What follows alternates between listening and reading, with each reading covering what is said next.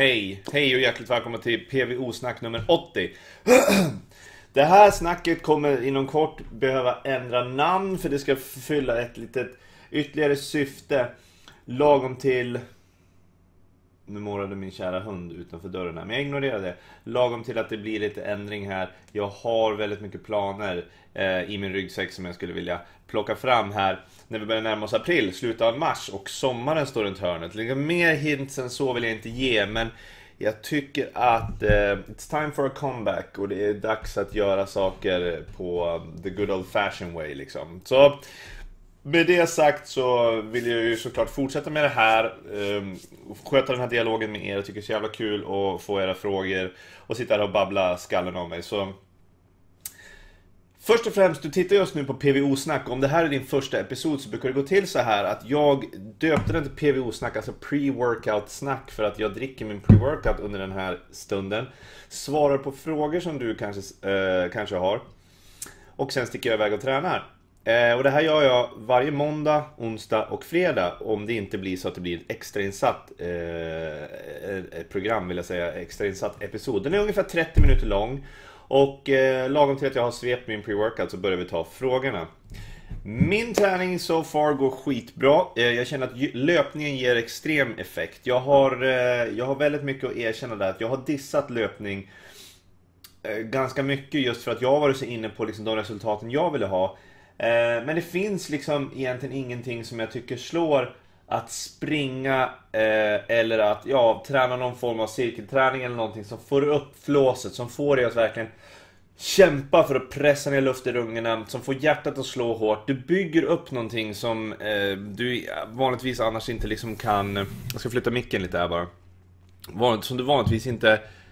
Du får inte till det. Du, du får inte till det genom att stå och bara pumpa biceps. Du får inte till det genom att bara stå och köra lite pressar och sånt där. Utan du måste ut och röra på dig. Och det känns så naturligt att springa. Det, jag snackar inga maraton nu, utan jag springer ungefär 10 minuter, en kvart, 20 minuter, försöker elda på ganska bra. Inte toksprinta, utan också liksom njuta av det faktum att jag klarar av att springa. Eh, ha den här lilla den här lilla terapin som den kan ge. Så jag förstår verkligen er som har fastnat för löpning, jag förstår hur mycket det kan hjälpa och hur det kan liksom ta om dagen är på väg åt att trilla av sidan liksom så kan man verkligen bring it back med lite löpning.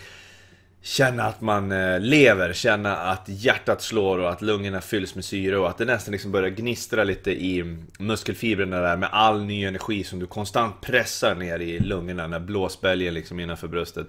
Så löpning är någonting som jag numera sysslar med varje dag och det är för att jag har väldigt mycket att ta igen. Mitt flås är inte bra. Jag, jag skäms över där jag befinner mig flåsmässigt nu. Pressstyrkan i mina bänkpresspass går bra. Jag följer Josef Erikssons bänkprogram, en av våra bästa bänkpressare i Sverige någonsin. Ung kille. Du kan följa honom på Josef Eriksson på eh, Instagram om du vill om du är nyfiken på det. Eh, vi passerar snart mitt gamla max eh, i bänkpress och det är från den tiden jag var i min absolut bästa form. Så det här programmet funkar sannoliken.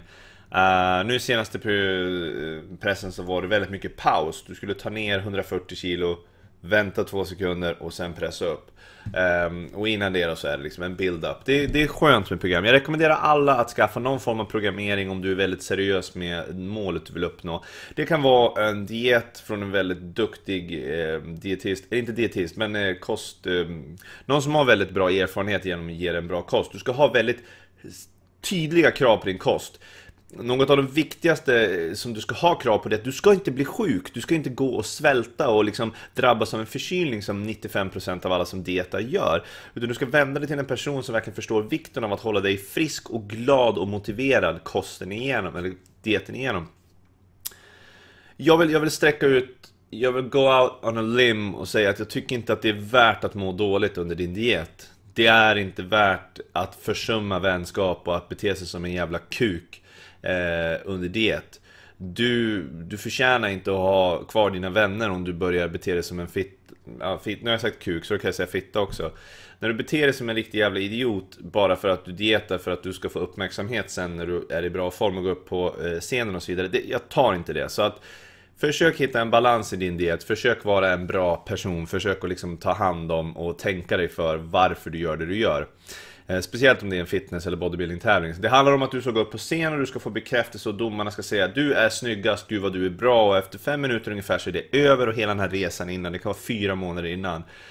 Försök hitta någonting som fungerar så du kan vara den här riktigt trevliga personen ändå som verkligen respekterar att det du gör är extremt och inte försöker hävda dig och hata alla människor som ifrågasätter din, din matlåda. Det är, det är lite udda, det är lite konstigt. Låt folk vara frågvisa och så vidare och stå på dig. Det är inte synd om dig liksom. Du har en jävligt snygg kropp och du får ju mycket bekräftelse och så vidare. Så Försök bara tagga ner lite och så sen eh, hitta den här dieten som liksom Alla kommer gå ner i vikt av en svältdiet. Det är, det är inte svårt att bara sluta äta mat liksom. Men däremot att bevara maximal muskelmassa och humöret och vara en bra person under tiden som tänker sig för Det är lite trixigt. Så var stolt, försök jobba efter det så kan du vara stolt över det istället. Um, och så sen är det benträning då, så frivändningar och eh, ryck och stöt kör jag ju väldigt mycket nu då. Så efter jag har gjort det här, idag så slår vi alltså ihop bänkpasset och benpasset. Så idag så blir det alltså alla bänkpresset och sen... Sen alla böjset.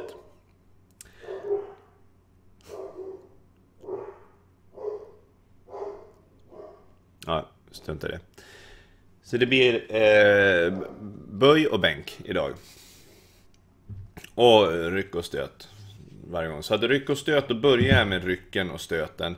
Eh, rycker, rycker när du tar stången och kastar upp den på raka armar över huvudet i ett ryck. Och stöt alltså när du frivänder upp hit, fångar den här och så bam! Över huvudet så. Så att jag kommer jobba upp till en tung etta sån av den ena och tung av den andra och så sen blir det ben. Eh, sen blir det böj efter det och då blir det väldigt enkelt. 5, 6, 7 set med treor liksom. Bygga upp en väldigt stabil eh, styrkebenen. För den är som helt bortblåst. Jag är otroligt otrygg i mina böj. Och eh, jag har inget ordentligt liksom, tryck i röven så som vi pratade om sist. Men nog om det, det är dags att svepa eh, dagens pre-workout. Jag kör, har, de här episoderna har jag av någon konstig anledning alltid hamnat med samma kombination. Jag kör inte alltid den här kombinationen. En del gånger beroende på min dagsform och hur jag mår och så vidare så skiftar den här. Eh, eftersom jag vet att det ska bli tungt och jobbigt så har jag ätit ordentligt några timmar sen och jag har liksom tänkt mig för när jag gick och la mig igår att jag skulle liksom sova ordentligt så att jag får vakna en rimlig tid så att jag får känna att jag är i synk med dagen. Jag vill inte försova mig, jag vill inte hamna på efterkälken det första jag gör och så vidare och så vidare och så vidare. Försöka undvika den här morgonångesten som kan uppstå liksom när man ligger lite efter.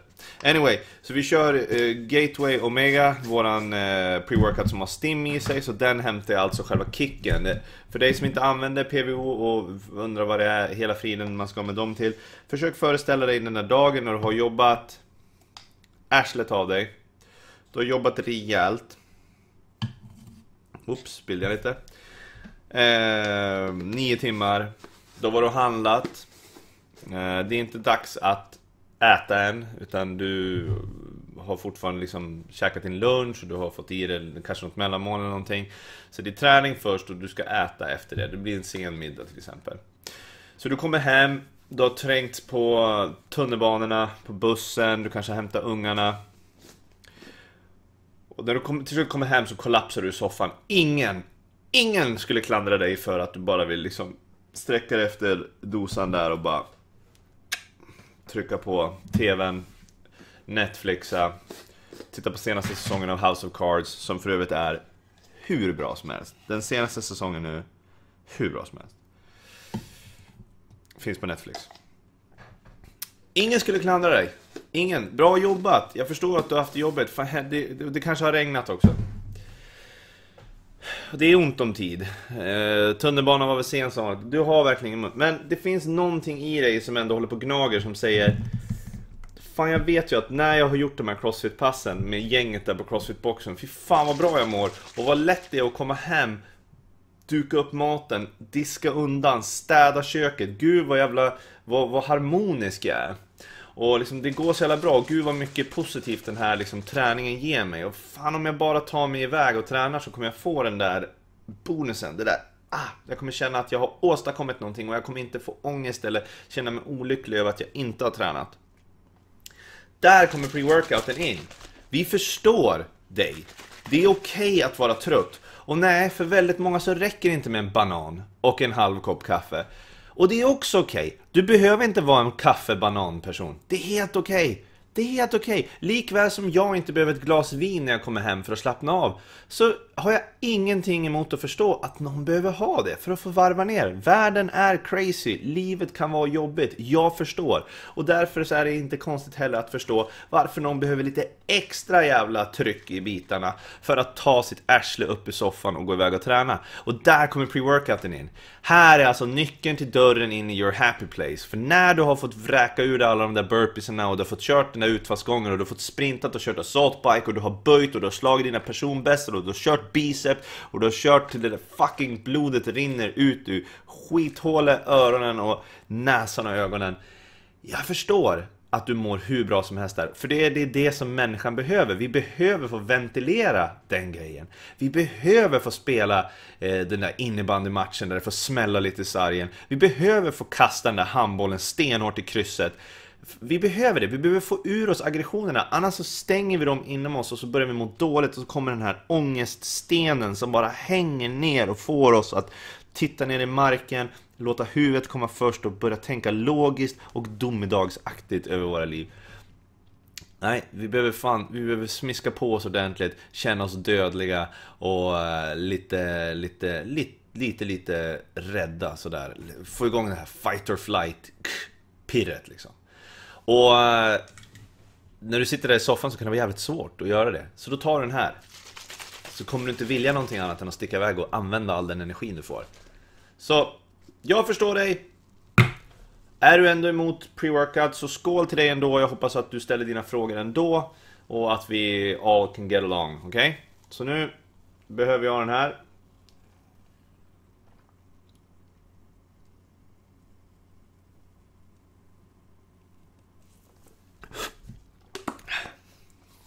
Alla våra grejer kan du köpa på store.aldrigvila.se eh, nu plockar jag fram frågorna.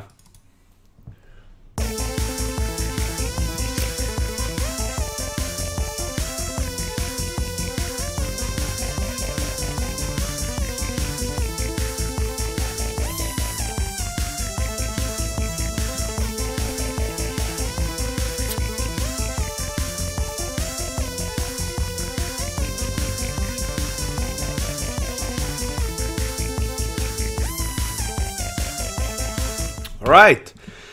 Nu är det så här att jag tog emot lite frågor på ett inlägg för några dagar sedan där jag la upp playlisten för alla de här PVO-snacken. Och de här är alltså PVO-snack 2.0, så vi har skapat en ny, jag har skapat en ny playlist från och med de här nya.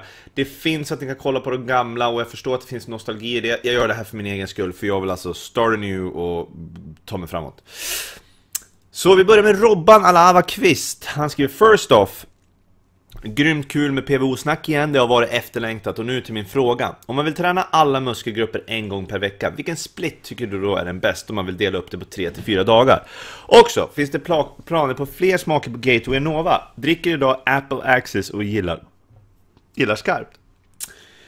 Eh, tjena Robban, absolut. Nu ska vi se här. Vad tycker jag har varit den bästa eh, modellen? Jag har alltid gillat att ha press, drag och benpass.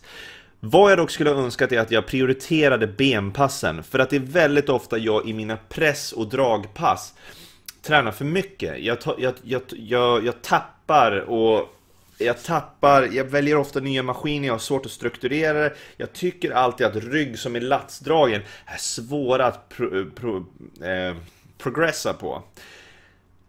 Så det jag skulle vilja ha sagt till Mikael när jag körde den här pressdrag alltid, det är att jag skulle säga såhär, okej, okay, kör ben, ben, press, drag. Ben, ben, press, drag. Så, så ett 2-1-1 eh, upplägg.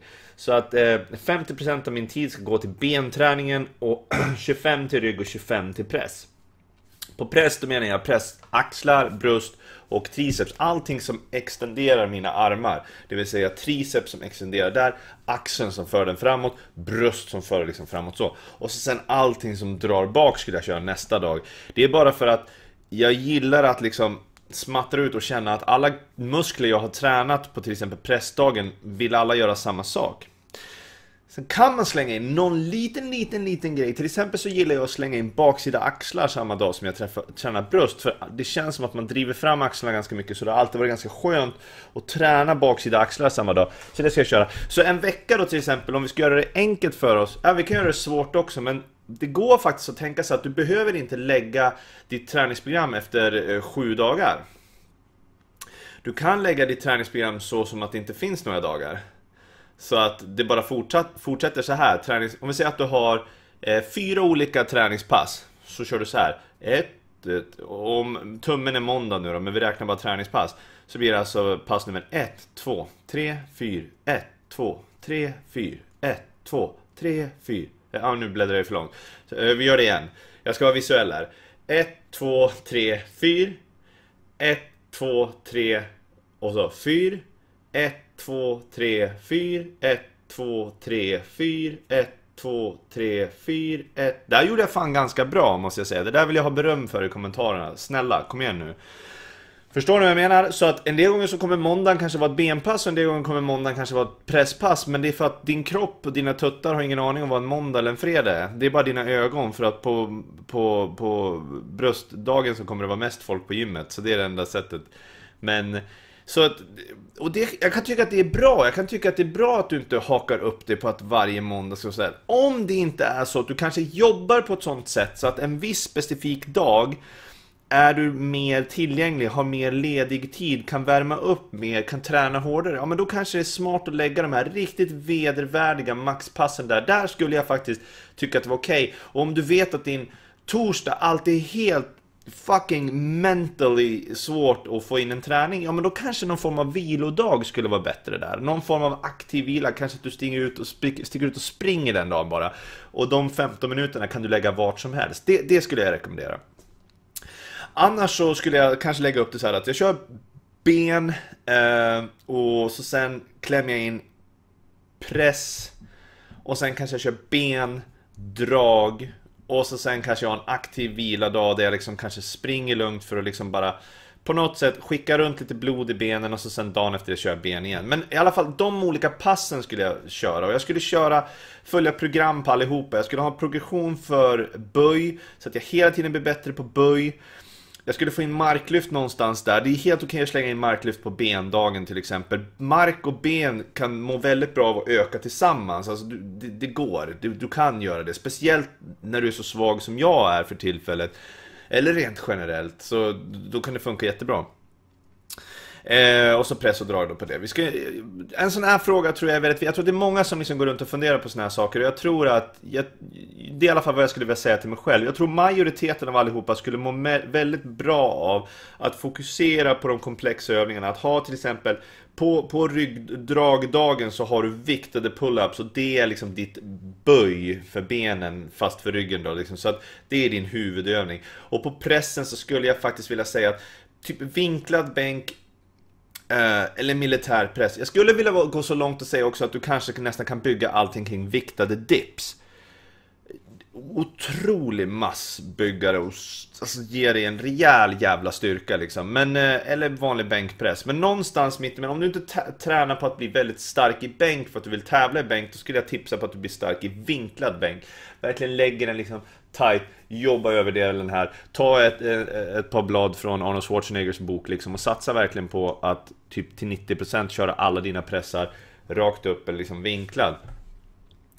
Och ha det som progressionssystem, försök bli riktigt stark där. Eh, och så försöker du verkligen liksom så dela upp passen så att du har din styrkebyggare här som din övning där du verkligen, här är min prestation, här ska jag se till att min kropp verkligen kan prestera och göra någonting på det mest effektiva sättet som går. Och vad jag menar med det är att när jag kör mina böj så är jag inte nödvändigtvis ute efter att det ska liksom bygga muskelmassa utan i böjen så ska jag se till att jag är en jävligt, har en jävligt bra människokropp som klarar av väldigt mycket och klarar av att böja väldigt tungt. Jag ska kunna sätta mig ner väldigt tryggt. Jag ska bevisa för mig själv att jag har en core och en ländrygg och en balans och knästabilitet och vriststabilitet och allting som är ett tecken på att jag har en bra kropp. Istället för att gå och gömma mig i bensparkar och bencurl och tåhävningar och allt sånt där, där, där du egentligen flyr från ansvaret att bevisa att du har en fullt fungerande kropp som kanske dessutom är riktigt imponerande stark på såna här komplexa övningar. Och det gäller rygg också, att eh, stå inte och bara köra pullovers med rep utan klättra upp i den där jävla kinsräcket, sätt kedjan runt midjan med vikten och så jobbar du upp den så att du har en övning där du visar att kolla jag jag kan, jag kan, eh, den här muskeln jag tränar, den är också väldigt funktionell och den, det kommer ge dig, det ger dig liksom mentalt och psykologiskt en helt annan hållning och självförtroende när du går in på ett gym. Du vet att min kropp fungerar, jag har en funktionell kropp som är väldigt vältränad, jag har stora muskler men jag är jag är också liksom väldigt funktionell. Det, det är en rush, det är en kick och det är någonting som jag känner slår volym i det långa loppet any day.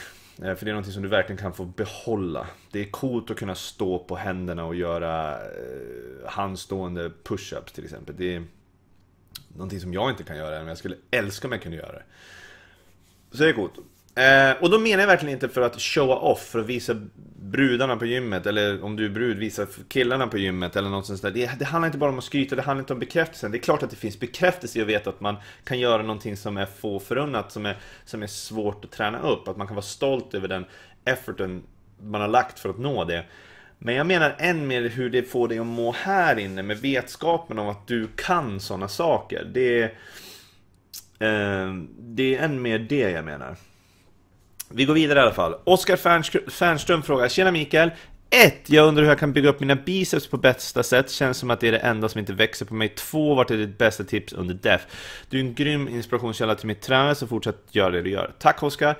Uh, bicepsträning, uh, nu är vi inne på något av det här isolerade då, så jag skulle ta några blad från det vi snackade om här med träningsupplägg. Jag skulle ta och switcha om mitt, mitt träningsupplägg Eh, där, eh, där du fokuserar på allt annat än storleken på dina biceps just nu Utan du försöker fokusera på att bygga den här jäkla Den här eh, maskinen som vi pratade om alldeles nyss. Jag säger inte liksom att du inte får fokusera på dina biceps. Jag menar bara att jag avråder alla att stirra sig blind på någonting som släpar på deras kropp. För det är Det är för tidigt.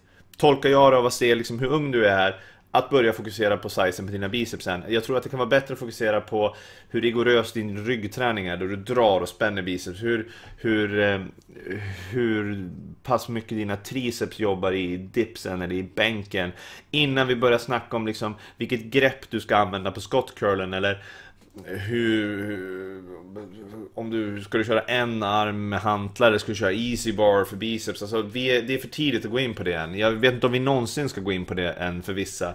Jag tror att det är mycket bättre att du håller fokus på att träna upp liksom den här ordentliga jävla primal forcen som vi kan få fram i en människokropp först. Jag skulle vilja råda alla som går runt och liksom funderar på det, eh, att göra det nu. Det finns folk som är otroligt duktiga på att liksom isolera sig genom hela kroppen och få till bra resultat. Men det är alltid så att går den här personen och ställer sig och kör böj och så vidare, så är de skitbra på det också. Så de har redan det i kroppen. De har redan en bra eh, kroppskontroll. De kan kan titta på en övning, de kan titta på en, en dansare, en hockeyspelare, en golfspelare, en handbollsspelare och de kan kopiera kroppsrörelserna utan problem. Man brukar kalla det för naturlig sving till exempel i golf, att du får en golfklubba och du svingar direkt. Sen kanske du måste flytta om fötterna lite eller något sånt där, men det finns inget snack om att de vet det mest effektiva sättet att svinga en golfklubba. Och sen är det vissa som måste lära sig allting och det spelar ingen roll vem du hör till, för att om du hör till den som inte kan svinga en golfklubba bra, så kanske du är den som utan problem kan rita av en tredimensionell bild och förstå förhållandet mellan de här axlarna och djupseende och framförkortning och allt sånt här. Det finns skills i allting och det är inget fel att tillhöra den ena eller den andra gruppen gällande, ja vad det nu än gäller. Så att eh, Stirra dig inte blind på att till exempel Phil Heath eller någon annan mästare i Olympia eller någon kör isolerade övningar. Ni måste förstå det att väldigt många videos arrangeras ju för att det inte ska vara samma sak hela tiden. Liksom, nu ska Kai Green träna sina ben. Då är det såklart att man inte bara låter honom stå och köra böj. Och jag säger inte att han bara kör böj heller. Men det kan vara väldigt missvisande. Så att alla som är i början av sin karriär liksom vill make a difference och allting. Det är, alltså jag har svårt att tro att det finns någonting mer givande och effektivare än att bli väldigt duktig på alla de här grundövningarna, alla de här större övningarna och försöka spara de här isolerade övningarna till antingen sist i träningspasset eller sist i din träningskarriär rent utav. Det finns väldigt mycket saker du kan optimera innan det och vara nog med. Och jag är inte ens i närheten av att ha nått dit än. För mig har det tagit nästan 13 år av slarvande träning innan jag började inse liksom att fan, jag måste bara in och bita mig själv i läppen och tugga lite taggtråd och ställa mig i den där böjställningen liksom. För att mina ben kommer inte bli bra bara för att jag vrider på foten i benpressen för att träna utsida lår. Bara för att jag står och kollar i en spegel bara, ja ah, men jag har för lite här. Nej, vet du vad Mikael? Du har för lite överallt. Även om du skulle kunna få någon halv centimeter mer svep på benen för att du placerar foten som ett A istället för ett V på benpressen. Det kommer inte vara lösningen för det är någonting far greater som hindrar dig från att bygga dina ben och det är att du fucking aldrig ställer dig och böjer ordentligt och stoppar ner röven i gräset och kör. Var ärlig med det, det är ingenting att skämmas över. Det är skitskönt att komma fram till någonting som man bara Fan nu är det dags att sluta gnälla och, och stirra sig blind på detaljer och istället kämpa på de här stora nivåerna. Vi fastnar väldigt mycket i det just nu men jag tror jag tror, jag tror det ligger mycket jag, jag, jag, tror väldigt starkt på det här. Det, det, känns verkligen som när jag pratar och när jag tänker och när jag går till mig själv gällande de här sakerna så känns det väldigt rätt att det är det här jag ska fokusera på. Kristoffer Persson, eh, Pettersson frågar Finns det möjlighet att ta tillbaka Citrus och Cherry Passion från gamla Gateway till Omega? Båda av mina favoriter back in days. Vi håller på att ta fram en ny smak till Gateway Omega och den är citrusorienterad. Mer än så eh, vill jag inte säga. Marcus Rosenborg skriver För länge sedan pratade du om överdosering av Omega-3 Håller du fortfarande fast vid denna ståndpunkten? Hur mycket tycker du man ska ta Omega-3? Vilken gräns gram ska man lägga på? Ja, det jag läste var en artikel av Charles Polquin där han sa att du skulle äta 1 gram Omega-3 per kilo kroppsvikt som bestod av fett. Så hade du liksom 20 gram eh, övervikt eller kroppsfett, 20 kilo det är ganska mycket. Så skulle du äta liksom 20 gram, och då får man vara rädd på att blodet kommer bli väldigt uttunnat. Så typ skär du till exempel kan du blöda väldigt mycket. Jag höjde, jag la mig någonstans mitt emellan, så låt säga att jag, om vi säger att jag hade 10 kilo fett. Det har jag nog liksom, det är inte ofta jag har haft det. det eh, men vi, jag kanske åt 7 gram vissa dagar, 8 gram. Eh, det jag märkte då var att jag sov mycket bättre, jag var mycket piggare. Det som var lite otäckt tyckte jag, det var att om man skar sig på marklyften eller något sånt där så eh, det rann väldigt mycket blod. Det blir väldigt bloduttönnat på grund av fettet och omega-3-fetterna och sånt där. Men jag mådde väldigt bra. Jag ska, jag ska kolla upp det där, du kan googla lite själv. Försök hitta Charles Baldwins eh, artikel om det så att vad fan ni undrar vad jag pratar om. Rasengan eller Chidori? Rasengan alla dagar i veckan, Martin.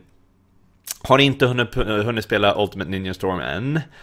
Eh, hur många pixel dricker du på en vecka? Ungefär två per dag. Eh, idag så blir det en som jag dricker. Eh, sen ska jag streama ikväll också. Streamen till ära här, så kör vi alltid en pixel. Eh, om ni kommer att kolla på streamen ikväll så kommer vi köra GTA 5 online på PC där vi kommer börja med någonting som heter Kill Mike där allt, det är alla mot mig och den som dödar mig kan vinna ett pris och så ska vi försöka bygga upp lite highlights på de som dödar mig på de coolaste sätten. Det är kul, så hatar man mig och trollar mycket på mina sidor så är det här ett gyllene tillfälle att få komma in och straffa mig rejält. Eh, Twitch.tv slash pixelproductions, precis som det står nere i hörnet här. Eh, Hej, hur är era lifting straps? Är de bra? Ja. Eh, och funkar de även på tjejer som inte har jättestora handleder? Ja. Eh, och angående era kläder, kommer det någonsin komma in eh, t-shirt i dammodeller? Och nu till min... Eh, ja. Eh, och nu till min fråga. Eh, angående Nova, är det som mest effektivt att använda när man kör många rep eller när man kör tung? Den är, den är bra till allt. Nova ska du alltid ha, det är bra att ha det i köttet. Då, då blir det bara bra grejer. Sådär, då, börjar, då är tiden slut och ni behöver inte ställa några fler frågor. Jag tar resten av frågorna i nästa episod, så ni behöver inte ställa fler. Jag ska ta till och ladda upp det här nu, sen ska jag sticka och eh, köra ben nu då. Puss och kram till allihopa, tack för alla frågor. Eh, det blir väldigt mycket fokus på träningssplit och allting sånt där, men jag tycker att det kan vara värt att så ett frö. Kom gärna tillbaka med era åsikter om vad ni tycker är den bästa tränings... Eh, träningssplitten och hur ni lägger upp det och vad ni tycker har funkat bäst och vilken typ av träning som all, har gett mest resultat till er. Eh, och är du lite av den äldre generationen och har tränat väldigt mycket, vad är, det du vad är det du önskar att du hade vetat eller vad skulle du säga till dig själv Eh, som ung. Skriv det i kommentarerna här nere, jag skulle jättegärna vilja ta upp det. Det behöver inte vara några frågor, utan lämna gärna din åsikt. Vad tycker du har varit viktigast för din träning? När du, vad var det som gjorde att du liksom verkligen stack liksom till nästa till nästa nivå. Skriv det i YouTube-kommentarerna här nere och eh, lämna gärna en tumme upp, det betyder skitmycket och prenumerera på kanalen, det hjälper jättemycket. Så länge det här är intressant och så länge ni tittar så kommer jag fortsätta göra det.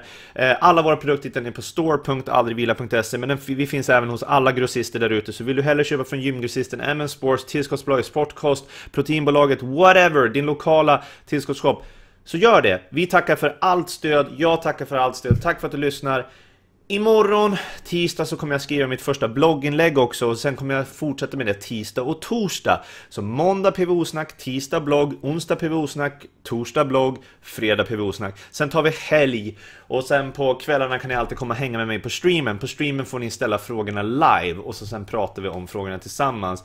Det är skit om, det, om du inte gillar tv-spel. Kom in och häng och ställ lite träningsfrågor så kan vi prata om dem där. Puss och kram allihopa, tack för idag. Eh, PVO-snack eh, nummer 80 alltså. Och jag ska sticka och träna nu. Puss puss, hej hej!